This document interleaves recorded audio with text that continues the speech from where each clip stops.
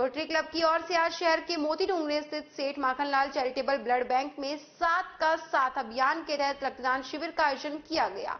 इस दौरान rotary club की ओर से 21 यूनिट रक्तदान का लक्ष्य रखा गया। रोटरी क्लब के अध्यक्ष जितेंद्र खुराना और सेक्रेटरी शिप्रा वर्मा ने बताया कि मानवता की सेवा के उद्देश्य से हर महीने पहले के रविवार को ये रक्तदान शिविर आयोजित किया जाता है, जिसमें ऐसे रक्तदाताओं को आमंत्रित किया जाता है जिन्होंने कभी ब्लड डोनेशन नहीं किया। इसके अलावा अन्य लोग जो ब्लड डोनेशन करते रहते हैं, वे भी रक्तदान शिविर में बढ़ चढ़कर हिस्सा लेते हैं। हमारा सात का सात प्रोजेक्ट है रोटरी क्लब का।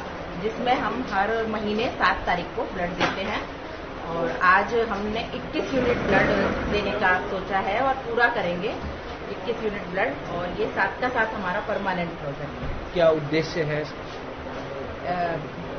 मानवता का ही उद्देश्य है और सारे मरीजों को अच्छे से जिनको ज़रूरत है रिक्वायर्ड है उनको ब्लड पहुँचे यही हमारा उद्देश्य है। इसमें